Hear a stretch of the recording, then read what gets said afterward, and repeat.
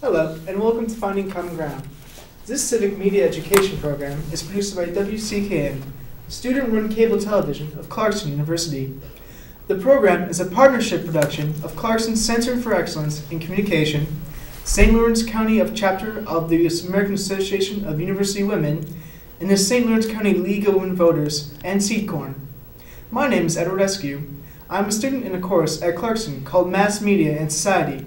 I, and a number of my classmates, provide a production crew for this series. The opinions expressed in this program are those of the speakers do not represent the views of the producers, WCKN, or Clarkson University.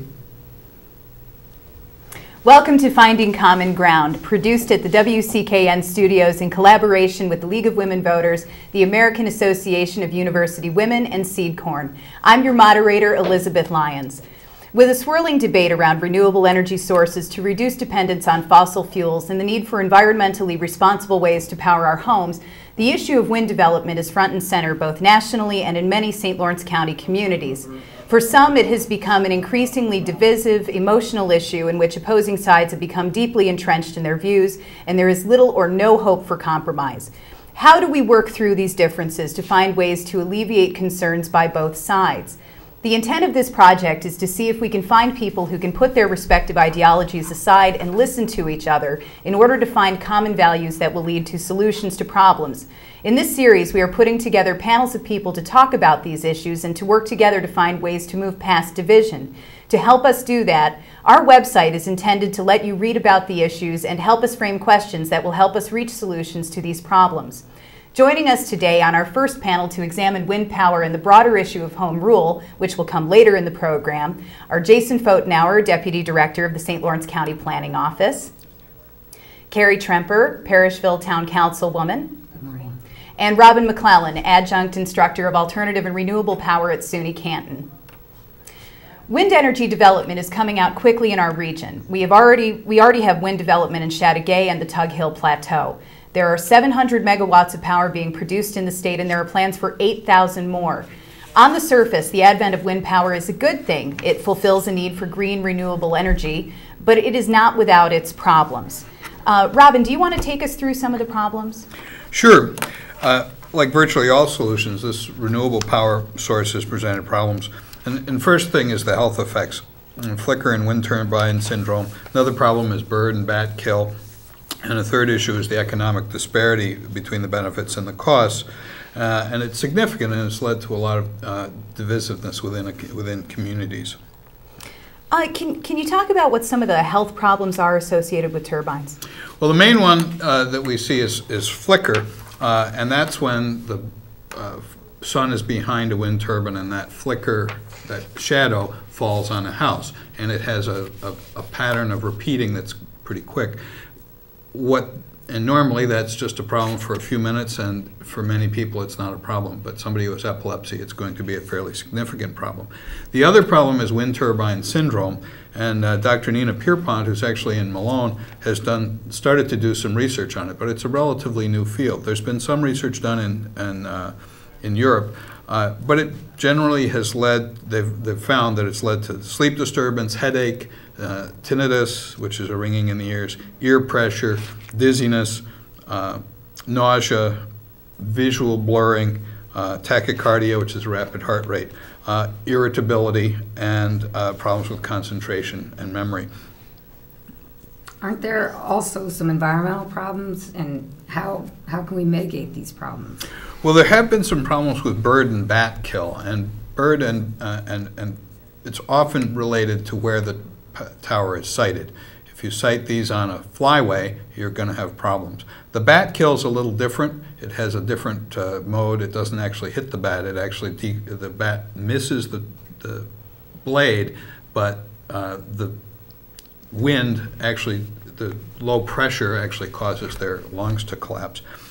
The uh, the bird and bat kill uh, have been studied to some extent, but it hasn't been, there's not a lot of it. The other problems are problems that are dealt with with whenever you have a construction project. So you have soil compaction and things like that. Uh, but those are pretty well, those are, those are things we can, we can deal with, and we can mitigate most of those too. What are the economic uh, effects, Robin? Well, the main economic effects are th- those of disparity. So the leaseholder gets a lease, and the lease is for the tower base, but the impact of that tower is far greater than just the base of the tower. It extends uh, from a visual perspective as far as you can see, but from, a, from the point of view of this uh, wind turbine syndrome, which is generally thought to be caused by low frequency rumble, uh, it depends on the geog- geology of the area. So that those things uh, impact far beyond the, the lease. So those that's the main problem with the economics. Uh, the other problem is uh, the property values. Property values can be degraded quite a bit by the presence of wind tur- turbines, and there's some studies that are starting to show this uh, fairly fairly succinctly. Uh, and finally, uh, the utility often pays a, a pilot, a payment in lieu of taxes to the community, or there's a tax, so there's a benefit to the community. We don't know whether that benefit is really uh, commensurate with the impact. Well, and, and one of the more obvious negative effects that I think we've probably all seen in one shape or another is, is the divisiveness that happens between you know people in communities that are wrestling with this issue. Um, you know, my brother-in-law has a wind lease in another community, um, and so and he was a town official there, and so I've seen firsthand, um, you know, some of the, the divisiveness that he had to put up with.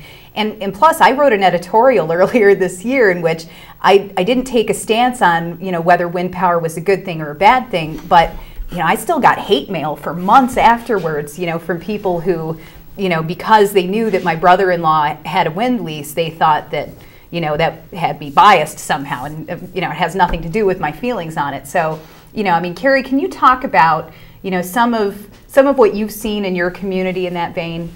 Um, yes, the, the town of Parishville right now is putting together a wind law. Um, and we've had many public meetings, and in these meetings, the residents have addressed concerns. Um, some of these concerns, obviously, what Robin mentioned earlier, the property values. You know, they're concerned with their property values going down if a wind turbine is set up next to their home. Um, obviously, the health effects often are also mentioned by Robin. Um, a big one was loss of farmland. Um, you know, we lose. I don't know the figures, but we lose farmland exponentially each year. Um, another one was the secrecy wrapped around the whole lease. Um, when when one person enters into a lease with one of these wind companies, they um, have to sign basically non-disclosure, so they can't tell people, you know, and they can't talk about any of the issues or problems they're having with these wind lease, um, with these wind farm companies. Um, Carrie, are there, are there, is there another side? What, are there tangible benefits to the, the town as well? y- Yes, and there are. I mean, the first one, obviously, you know, we look at is the tax benefits. You know, how how is the town going to benefit? You know, basically, we're going to get some type of tax repayment. They they won't go by a taxable um, assessment. They basically will do a pilot, a payment in lieu of taxes. Um, problems with that is that um, we we also have Brascan in our community, and um, we can't offer them a payment in lieu of taxes, or we don't really want to offer them a payment in lieu of taxes because how do you quantify what they should be paying as you know the wind farms? What, what's Bra- Brascan is the hydropower? The hydropower, you know, they run the dams, the power dams, and our, and um, obviously Parishville has five, six, a large amount, and now we're looking at having the wind farms come in, and how do we tax them? It, it gets kind of unhappy. So what, what is the town putting in, into the law that will address some of the environmental and, and health impacts? Okay, primarily we're doing that through setbacks, um, restrictions for, from existing homes, roads, um, property lines. Um, we're also trying to address the loss of um, farmland through um, siting goals that were set up through um, the New York State Department of Agriculture and Markets. They have a guidelines. Um, so we set that, we put that right in our law. And um, Lastly, we put in our law a way to um, mitigate nuisance um, complaints, that we, we have a, a complaint resolution program. So if there is, you know, somebody's having a negative problem with, say, flicker, that they didn't, you know, that the wind farm didn't see was gonna affect this house, they, they're supposed to, you know, at least address it and with, you know, timeline and follow through and all that. Does the town get involved in actually addressing the conflict? Um, n- not necessarily. I mean, basically, the wind farm has to, is supposed to do a study of the surrounding area of where they're gonna put their turbine up and how it's gonna affect everything. Um, and then if, obviously, there's some negative effects, they have to, they're supposed to address it. I guess, I, I would think the town would probably get involved if the wind farm wasn't, you know, coming back with some mitigation efforts.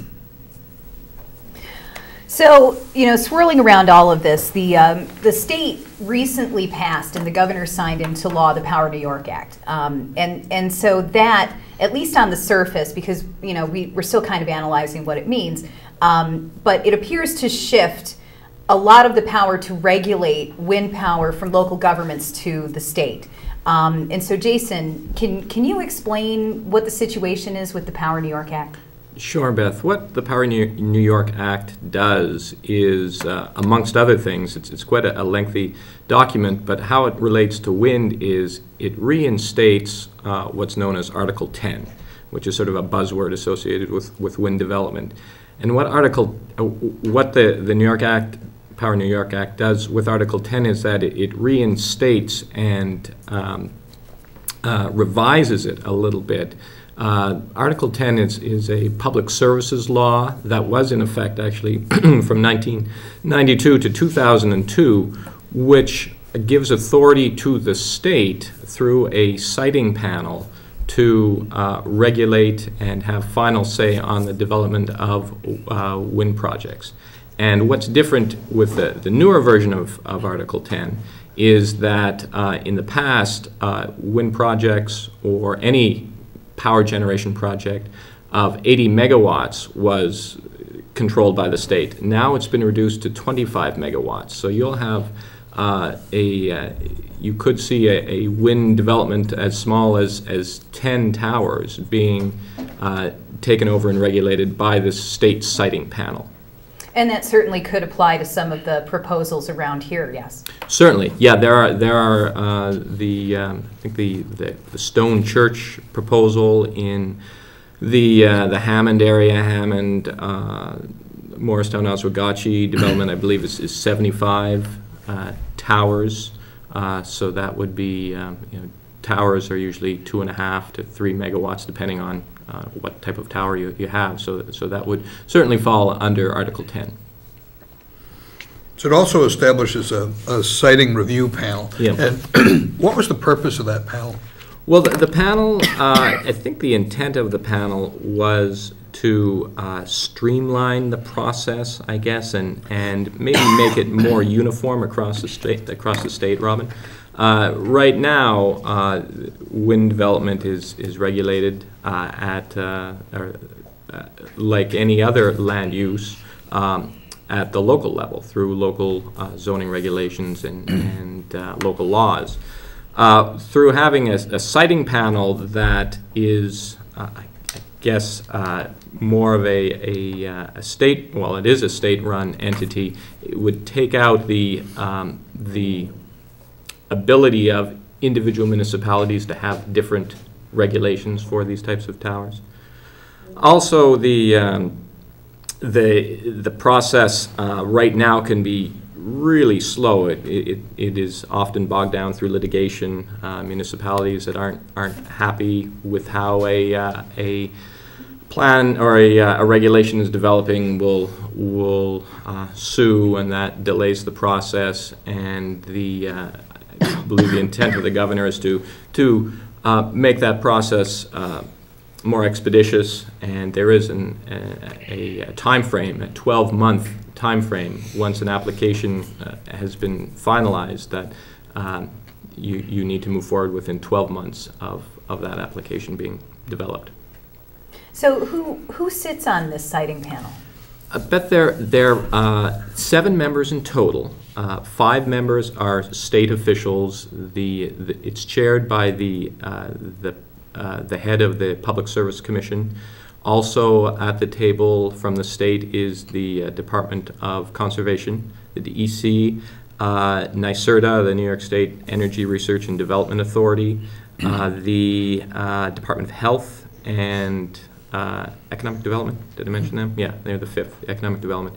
And then the two other seats are reserved for individuals at the, uh, at the local level. So two representatives from the community in which a wind development uh, is happening would have a a seat at that table.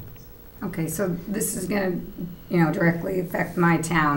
Mhm. Um, and we're putting in a local law in place. Right. I mean, how, how is that gonna affect, uh, how, is our local law, is it just gonna be over, overridden by this That- panel? And that's, that's what everybody is sort of, I guess, up in arms about with this, uh, with this, uh, i- and the impact on, on home rule. How, how is our, uh, how is our authority, our local authority to regulate what happens in our community affected by this type of development and, or this type of, of law?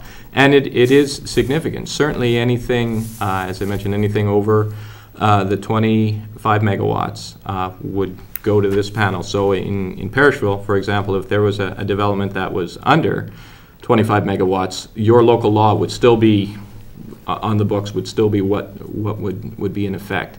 And um, so it's, I think it's, it's, it's important for municipalities to have that type of, of uh, law in place. Uh, But yes, there is language in the law that says the, the the panel, the siting plan, panel has to uh, follow the, the local laws that are in place. However, if it's deemed to be uh, unreasonably burdensome, I think is the language uh, in the, in the law, if it is unreasonably burdensome, burdensome, then they have the authority, the siting panel has the authority to, to override what the local municipality has on their books. So it could be a good thing and it could be a bad thing because you said there are some experts on this panel that could help Right.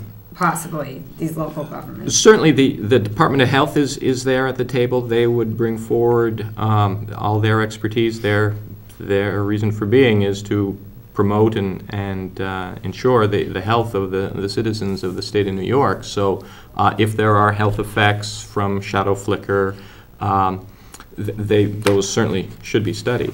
Uh, Also, the DEC is there. Uh, They, uh, again, their- their, uh, their directive is to ensure that the, the environment, the, the natural environment, the, the, the the birds and the bats are, are protected. Uh, So there, there is room, certainly, uh, on this panel for all those, those uh, representatives to bring the, the full, the full um, knowledge base of their respective departments to bear on, on this. Well, one of the problems is that those knowledge bases aren't very big right now. And hopefully, they would be able to manage to go out and actually wait, do some studies. Right. The question is, will they take the time to do the studies where the political pressure and the pressure for, quite legitimate pressure for having alternative energy Right. override that? Right, and, and the hope is that they, uh, they will not, and there is, uh, there is quite a bit of language in the, the, the law that addresses uh, the environmental concerns. Environmental justice is a a term that is, is uh, i- is sprinkled throughout the, the uh, Power New York Act of 2011, so certainly the intent to make sure that, that that does happen. And so, you know, I mean, taking all of these things into consideration, and you know, people have a tendency to focus on the things that they're concerned about, and the things that that there. I mean, there are obviously some very legitimate worries in this in this issue. So, you know, what do we do to come up with ways to surmount some of these obstacles and kind of make sure that everybody's fears are put to rest. Um, you know, to me, the, the first thing that comes to mind is for a local government to be open and transparent about what they're doing. You know, I, I think that town boards and, and, you know, whatever local government is focusing on this issue really needs to make sure that everyone in the community gets a say. You know, that they all have you know, a chance to air their concerns and that the local government works to meet those concerns, you know, and, and make sure that people understand that, that they're listening and, and be very, very open about everything that they do, all of the talks they have with these developers, um, you know, and, and to have, to let leaseholders have a spot at the table too, so that, you know, it's not this us versus them kind of mentality. Um, I, I think that's a great point, Beth, and, and to go along with that, that open mentality is uh, to, to um, look where other communities uh, have gone with this. Other communities have struggled with this uh, as well. Uh, know, in Parishville, uh, the, uh, the law that you're writing uh, is, is not the first one for a municipality in the, in the, in, certainly not in the state, and certainly not even in St. Lawrence County. There are a number of other municipalities that have laws on the books, so there is, there is some opportunity there to see what other communities are doing and, and look uh, also to the state, to NYSERDA, uh, for um, examples of, of um, language and, and ways that we can, we can mitigate the, uh, the concerns that go along with the development. And, and I think in the town of Parishville, we are doing that. We are sharing our ideas with um, the town of Hopkins, since the wind farm that is coming to our area is going to um, encompass both those towns.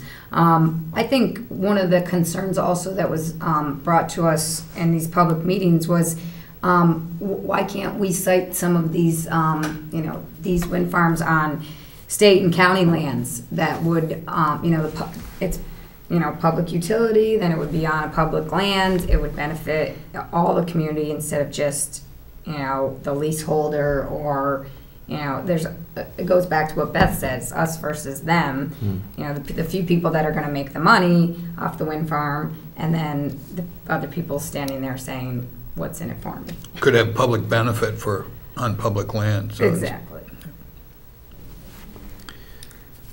The, uh, I guess another opportunity where there, uh, to go along with this, uh, what other communities are doing, is just to, uh, just to make sure that the rules that are in place uh, are, um, are going to help with some of the concerns like the, the shadow flicker and some of the other uh, environmental problems. I know uh, setback issues, although setbacks certainly cannot solve all problems with, with wind towers, there's a, a number of concerns with uh, geology. So one setback that works in one community may not work in another community because you may need to be further away because of the, uh, further away from, from development, uh, residential development or, or other type of development when you're putting up a a tower, depending on what's underneath the ground.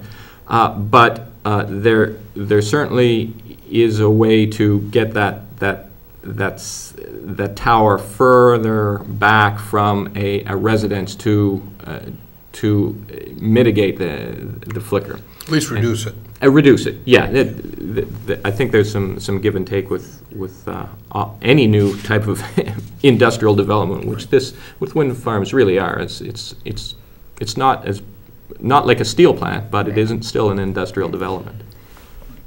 Yeah, you have the flicker, and then you also have your, your noise and rumble, um, that they say there's like an infrasound that goes, you know, through the soil and can affect these homes. And again, I think, I'm hoping that, you know, through more research, we can find out, you know, how that actually affects people. So, you know, that's one of the things we need to do is do more research. It's a relatively new form.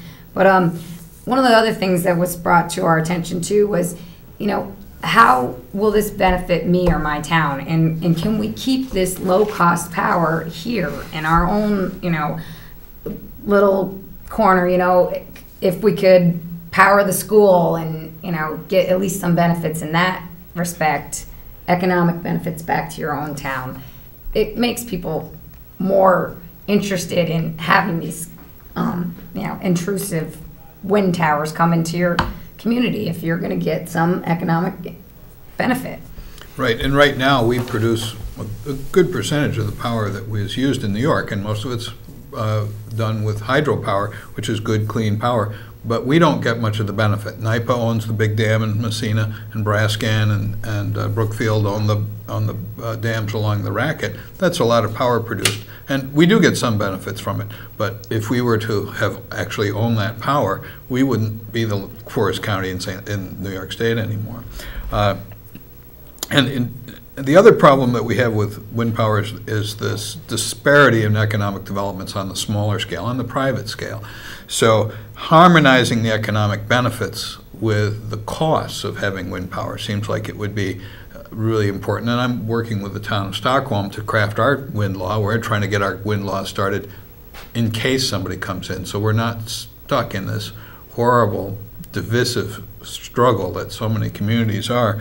But one of the ideas that I've had is that in addition to the lease, that the wind company would have to buy an easement or lease an easement uh, uh, for the, the areas that was affected by it. So that would start to spread the, the benefit out among the people who are impacted.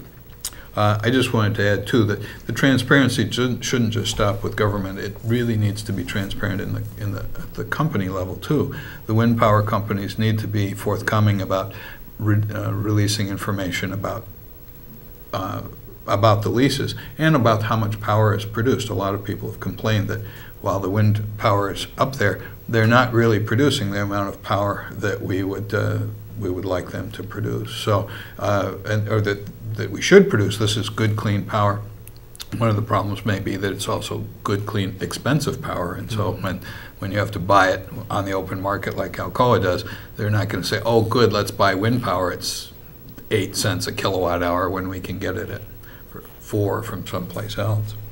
Well, and the, the difference is there that, you know, we, we have laws on the books that compel local mm-hmm. governments to be transparent. Right. And, and we don't have that for private right. companies. So it's really a decision that the company powers that be need to make. Um, you know, if they want to foster goodwill within a community, then they, you know, they really need to think about how much information they should be sharing.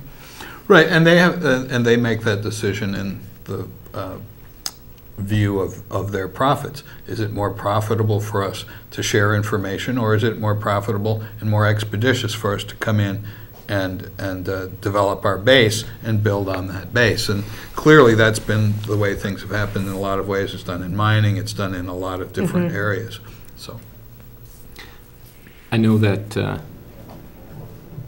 I think we're running short of time here, but uh, just one, one last thought on, on openness. There was, um, back when um, Governor Cuomo was the Attorney General, there was a, uh, a truth in, uh, uh, a full disclosure uh, requirement put in place for wind, wind companies. Uh, I'm, I think it was in '09. Uh, So there, there is the, uh, the desire by the state to ensure that there is some, some openness uh, at that level as well, at the corporate level. Great. It Certainly would help in the town of Parishville, because there's definitely some concerns on whether, you know, the wind farms are telling us the real truth. Right. Well, and, and the, the best you can do is to be proactive, and, and that's what your town and, and you're working with the town Yep. of Stockholm to make that happen. So, you know, that's uh, that that's one that's a part of this puzzle to try to you know keep the keep the division down and make sure that everybody's concerns are, are heard and, and mitigated. Right, right, right. And we, and it's so important. I would encourage towns that don't have a wind law in place to start putting, putting one in place, and even laws on fracking in the same, which are, it's the same kind of an issue, only even more money at stake there. Whenever there's money at stake and start, and it starts to get disparate, there are problems. I'm sorry, we're out of time. On behalf of the organizers, I'd like to thank you all for taking the time to talk with us and for your, will- your willingness to participate in the local civic media program. Please come back next week for another Canon Conversations. Until then, remember, our North Country matters.